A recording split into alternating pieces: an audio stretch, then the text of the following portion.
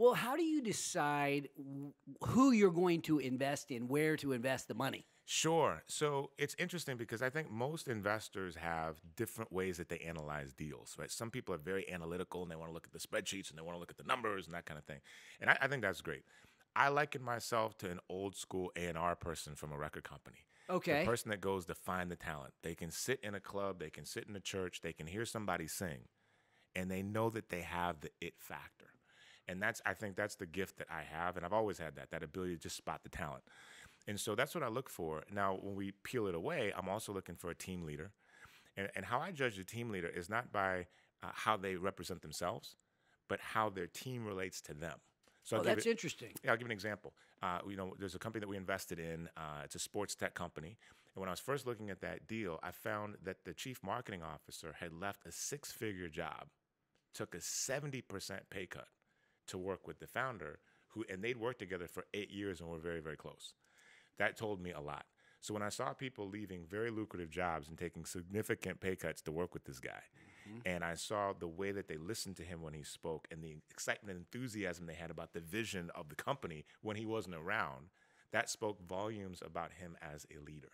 Because at the end of the day, look, you can have a great idea, you can have a great product, there could be a great market fit. But what I've found is that most startup companies die by suicide, not homicide, meaning that the failures come from an inability for a team to work together, for personal issues to get in the way. So it, it, it's rare that you see for a startup company to be decimated by external market mm-hmm. forces. It's the internal stuff. So the question is, can this team work together? Can they coalesce together? Can they weather the storms together? And you can see that early on just within the chemistry of the people. Mm-hmm. Then you go into stuff around the business. Obviously, is are they meeting a real need in the marketplace? Is it innovative? Are they doing something that nobody else is doing? You know, th- all of those things come into play. But what I know is that when you've got the right people at the helm, they'll figure it out.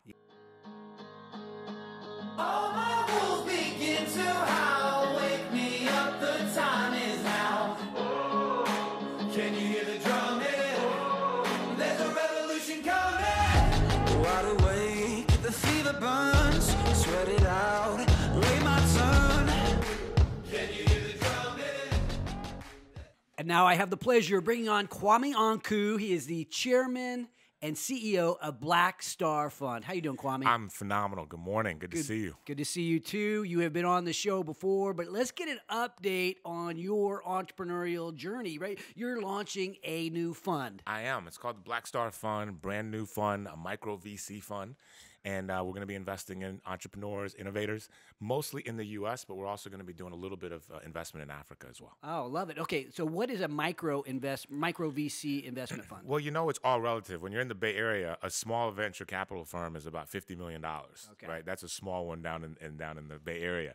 Up here in Sacramento, we say a micro VC fund. That's like about three, three and a half million dollars. Okay. Yeah, so this will be my first uh, fund that I'm the sole uh, general partner of and running. So we wanted to start it small, get a good track record, and then be able to build subsequent larger funds after that. So what prompted you to start this fund? Because you've been doing this for a long time. Yeah, you know, uh, I love this space.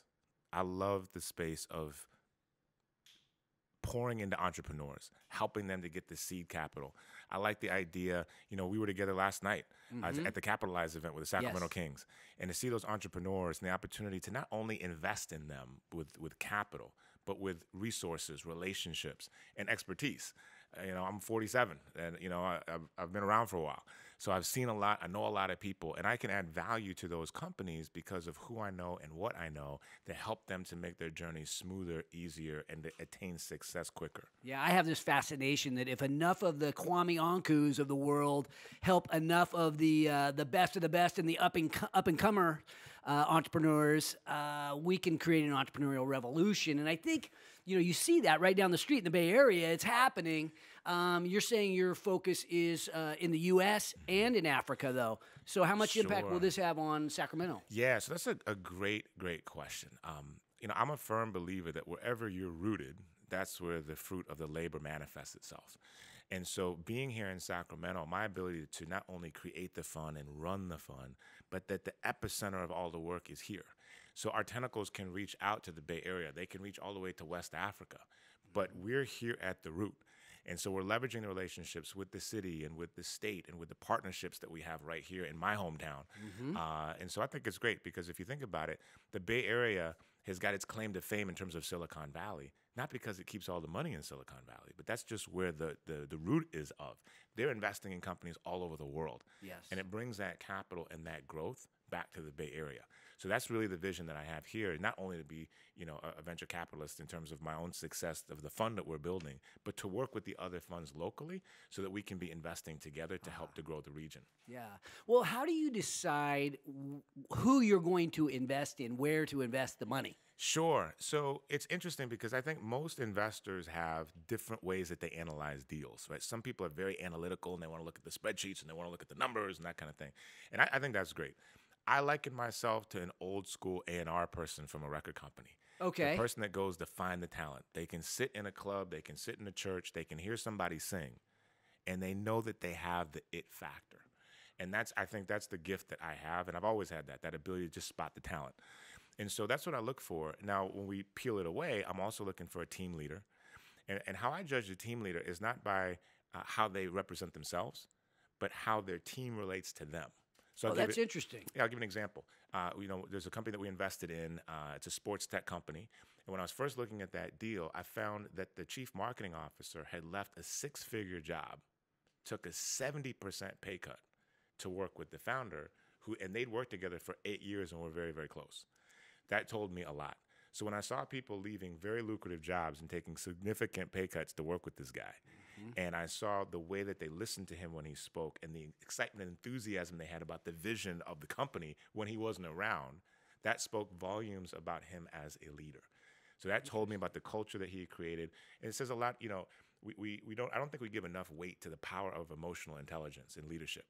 Right. So when we talk about emotional intelligence, it's that ability to connect with people, to know what's going on, to know what buttons they need to motivate them and to keep them, you know, charged up and, and because, you know, being an entrepreneur is tough. It's a mm-hmm. tough journey. This is it's a brutal game. So maybe you're tough, maybe I'm tough, but can your team manage the storms that are that are inevitable? And so when you see folks that have the emotional intelligence to get a sense of what their team needs and that the team knows what their leader needs and they're all working together, that is very important to me. Because at the end of the day, look, you can have a great idea, you can have a great product, there could be a great market fit.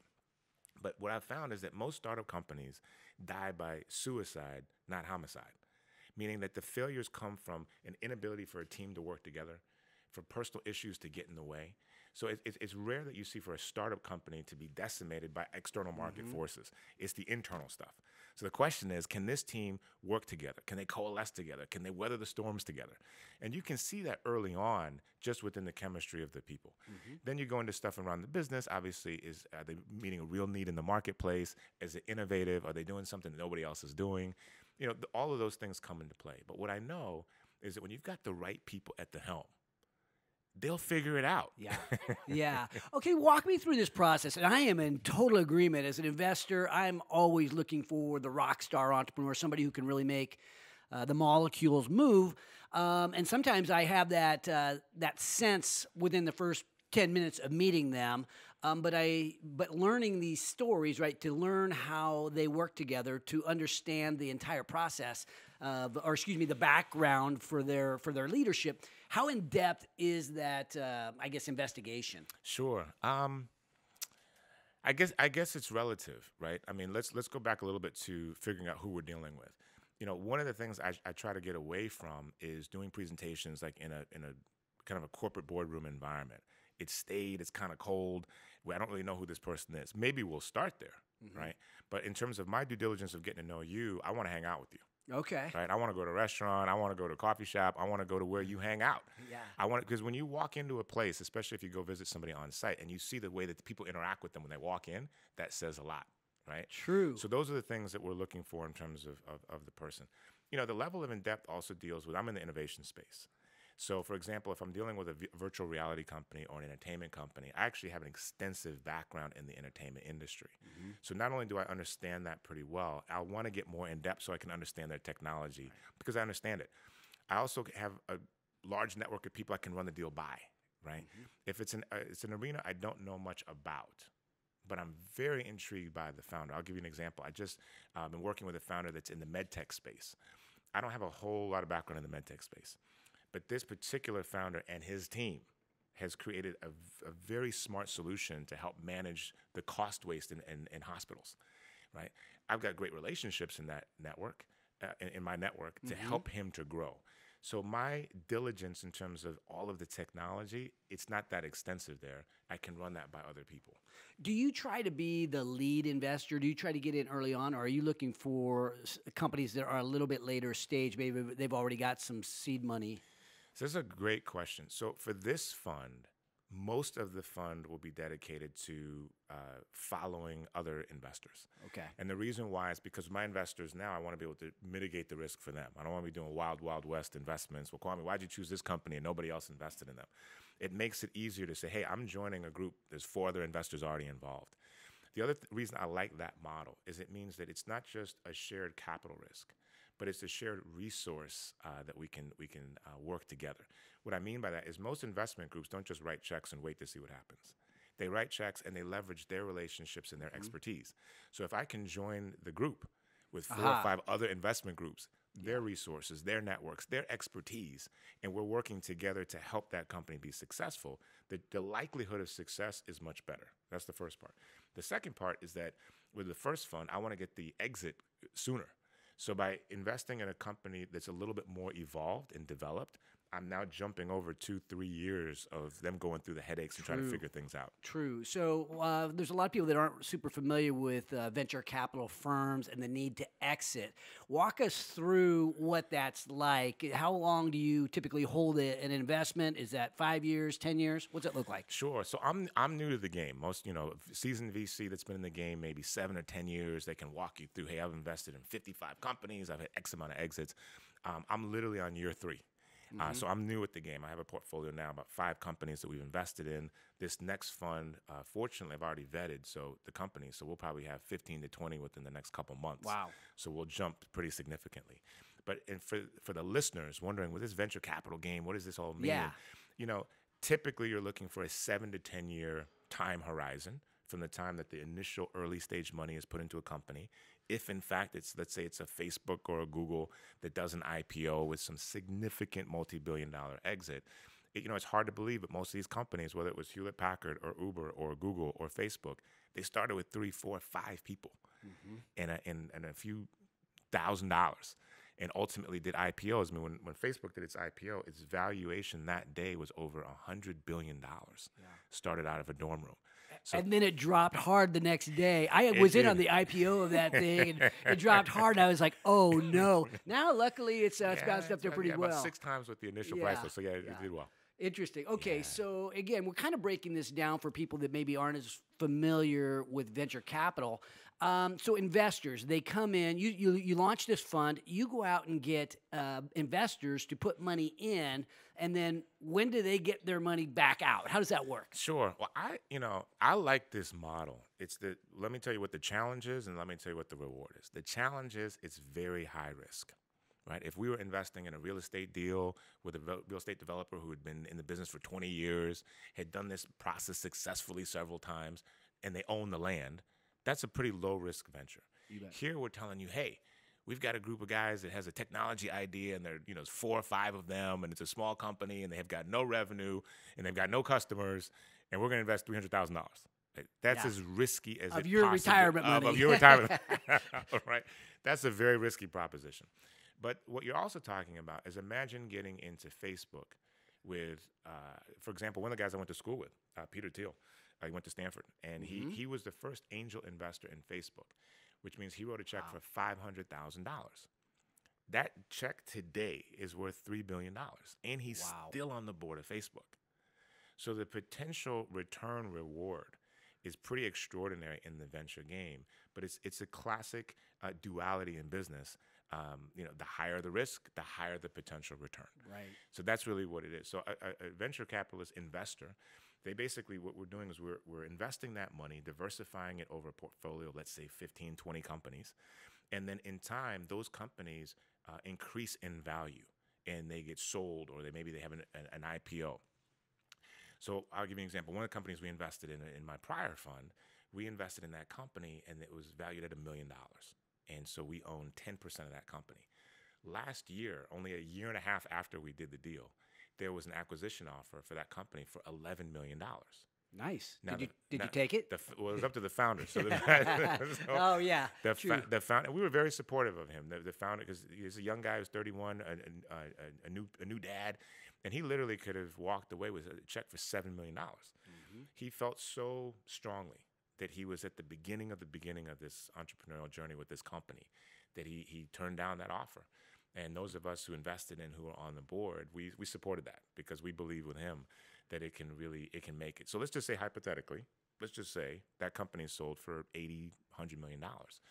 That's amazing to have 10% of that company for 100 grand you bet. right? So now again, there's no guarantee that one that that's going to happen, and two, there's no guarantee that the portfolio will turn those kind of returns. But what it means is that when you're coming in early with a hundred grand or fifty grand, and sometimes twenty five thousand dollars, you could own ten percent, a quarter of a company that could increase in extraordinary value in a short amount of time. It's uh, incredible returns I had. Sometimes I, you see it almost like an acquihire. I invested into one early, no revenue, and they really loved the team, and they paid you know ten times type thing, and they took the money uh, versus continuing to roll the dice. So I'm That's kind right. of uh, I'm thinking to myself. So who should invest into something like this? These are just accredited investors, right? Yeah, so let's take a look at that quickly. So when we say accredited investors, right, we're talking about folks that um, you know the government has deemed that these are folks who are making at least two hundred thousand dollars a year as an individual, three hundred thousand dollars a year as a married couple for the last uh, two years, or have a net worth of at least one million dollars. Okay. What's What's interesting is some legislation was passed just a few years back uh, that allows non-accredited investors to participate in what's called equity crowdfunding. So we think we're not talking about just like a Kickstarter campaign, but there's new platforms that have been designed that allow folks to participate in equity crowdfunding, like a Kickstarter campaign, without being an accredited investor. So I've, I've recently done a partnership with my fund and a great platform called Republic. And Republic is an equity crowdfunding platform that allows people to invest literally as little as 100 to 250 dollars, but to participate in these early growth innovation sort of companies. democratizes the uh, the whole process where anybody can get in. uh, You know, instead of just for the uh, the people who have already uh, had some success, it allows the people sort of on the way up to throw in a small amount of You're, money. you're literally using their tagline. That's exactly their mission to democratize that process. Interesting. Yeah. Okay, so let's talk about success. We, you know, you talked about a hundred potential hundred million dollar exit. Uh, could be a ten million dollar exit. Um, but success looks different to everybody. So now we're talking about in the investment community. But let's talk about you, uh, Kwame Anku, the uh, the uh, the family man, the businessman, the uh, the a man that uh, has uh, so many things going on. What's success look like to you in, in these different areas? Sure. I think it means different things to me. And I love that you asked me that question, right? Because I see success for me being in just a different arena. So I'll give you an example. In this game, part of my success is for myself. I want to show myself that I could do what I set out to do. Um, you know, I went to school with the folks that created Yahoo, Google, YouTube, uh, PayPal, LinkedIn, you name it. Um, and these guys, and I say this respectfully, I don't think they were any smarter than I was, but they were just in the. I- think of it again like a seed. They were they were planted in the right soil and in a so- soil that I just didn't really understood existed. So now, uh, being a little bit further down in the life journey, I want to be able to play in that game and win in that game. Yes, we can. Um, we can aggregate investment dollars. Yes, we can identify talent. Yes, we can place that money and help those companies to get customers and to increase in value and ultimately get a higher return than what we put in. So that's what probably Well, how the do you areas. know? i- We'll stay on this business side, and proving it to yourself. What do you have to prove to yourself? What level of success? What does that success look like in terms of, you know, help us imagine that. Well, look, I'll be honest with you, uh, and this might sound strange, but it is what it is. For me, if I got a 2x return on this first fund, I would be jumping up and down. Because to me, you're just returning value. And I, I can't imagine anybody in the world that said, hey, if I put $100,000 into anything and got that back 2x in a relatively short amount of time, that's an extraordinary accomplishment. So to me, it proves one, I can do it, Yes. and two, that the model works. When you think about Silicon Valley and 100x and 1000x and Uber and the rest of this craziness, you know, all of that stuff could happen. But the, t- to me, the success is that it worked. Mm-hmm. Did it return the capital to the investors and increase in value? Because if you can show even a 1 point X return, that means you're doing something right. Now, when you look at most investment funds, right, they're not doing 2x returns, right, mm-hmm. for anybody, right? So if you're getting 10% every year on your money, you are a happy, happy camper. Yes. So for us, it's relative to like private equity. 2x is, is, is pretty much off the charts. Relative to potential venture capital where you get 50x returns, it seems small. But the reality is, if you can prove the model works, then you can continue to build and to grow on that. And that's what success is about. Well, what about the uh, the complete entrepreneur here? You think about um, you know your success. You've done this. You're a family man as well. What's uh, what's success look like? Some of us, I guess, wrestle with the uh, the challenge of work life balance. But there's these windows of time where okay, I'm starting something. Uh, that work life balance doesn't. Uh, doesn't exist quite like I uh, maybe thought it might, and so you have to kind of go all in. But you, you still want to have a successful life beyond uh, beyond business. That's that's that's right. So I, I feel very fortunate and very blessed that as of today, I have a certain life rhythm and design that just inherently gives me the balance. And what I mean by that is that um, I might work 70, 80 hours a week, but sometimes I just wake up at four o'clock in the morning just because I'm up Mm-hmm. and I'll send emails and I'll read. Uh, I'm, I literally drop my son off at school every day. Yeah, I know you've taken him to work with you a time or two as I well. You're like father of the year, bringing your son to pitch contests. He's becoming. Is he have his Yeah. MBA yet? You know he doesn't, but I'll tell you, he, he he's right on track. His favorite show is Shark Tank. He's right on track. Uh, but yeah, that's the thing is that I have I'm I'm, I'm at all of his games. I, I get to relax. Uh, I get to spend time with people that I care about, um, and so it, it- it works. I think that where the stress of being an entrepreneur, and even though we're on the fun side, we experience life as an entrepreneur the same way because we're an early stage startup. We're raising capital. We've got all kinds of pressures and demands, time pressures and demands, and investor demands, uh, and the pressure, as I shared with you, in terms of success that we put on ourselves. But I'll be honest with you, the older that I get, um, the the less that I need, and I don't mean that necessarily from a material standpoint. But what I mean is that uh, two nights ago, um, after dinner, I told my son, "Hey, let's go for a walk." And we went for this amazing 15 minute walk, just enjoying nature and just enjoying the, the new season that's coming in. And I just thought to myself, like, I have it all. I love what I do. I'm healthy. I'm with my son. I'm enjoying life. Right. So it's not always, you know, making millions of dollars and, and being on a yacht. I mean, that's great. Um, but in terms of as I've gotten older, the needs that I have and what means success to me has, has really changed. Well, you uh, had a, a friendship with Prince, the rock star, and uh, what can we learn from people who have this wildly successful lives, like like someone like Prince? What can we learn from them? Well, I think I think twofold. Um, you know, there's a great book by uh, Napoleon Hill, Think and Grow Rich, Mm-hmm. and when he he basically studies successful people over a certain amount of time, and he figures out all the traits. But the number one trait that he says that, that is necessary for anybody to be successful in any arena is drive. It's literally drive, right? It's not your degree, it's not your intelligence, it's not your IQ. It's just drive. When you look at people like Prince, that was if there's one word that you could say encapsulated him, it was drive. Hmm. Right. So what we can learn from Prince is what we can learn, quite frankly, from most successful people, which Napoleon Hill figured out a long time ago. That book's hundred years old. Is just drive that that the energy to get up every day and go after and build that dream. Yes. Interesting that you say that because I think we're all born with, uh, you know, we're kind of go, go, go. And then we're taught to sort of uh, settle down, behave ourselves, and tapping into that drive, that uh, pissed offedness, or that thing that just you, I will win, period, end of story. How do we tap into that? How did Prince tap into that? You know, it's interesting, man. And I struggle with this as a parent, right? Because as a parent, what you want to do is protect your kid. And the one thing you never want is for them to get hurt. But what you find is that we all attain success in life through adversity. Mm-hmm. It's through getting knocked on your behind. It's through bars being put in front of your face. It's through a bunch of people saying, no, you can't do that. You can't do that because of this, this, this, this, and that. And then say, no, I'm going to prove you wrong, right? So what I find is that a lot of the drive comes from adversity.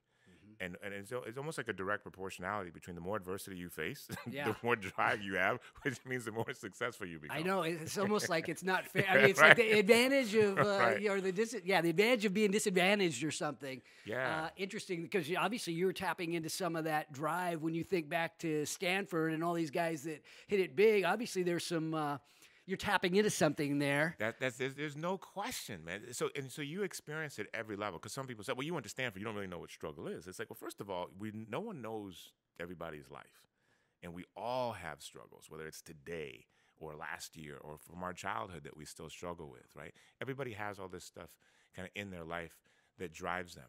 You know, I think about my dad. You know, my dad was born in a country that was still colonized, and, and he grew up in a village with no running water, no electricity.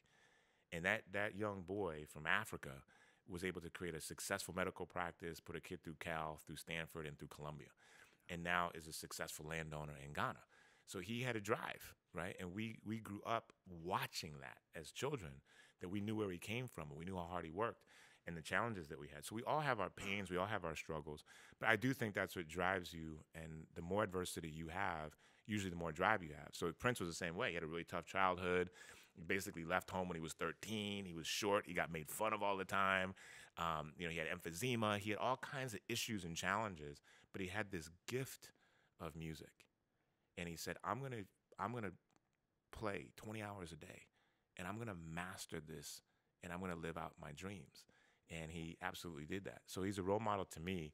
I got to work with him and see him close, you know, up, up close and personal.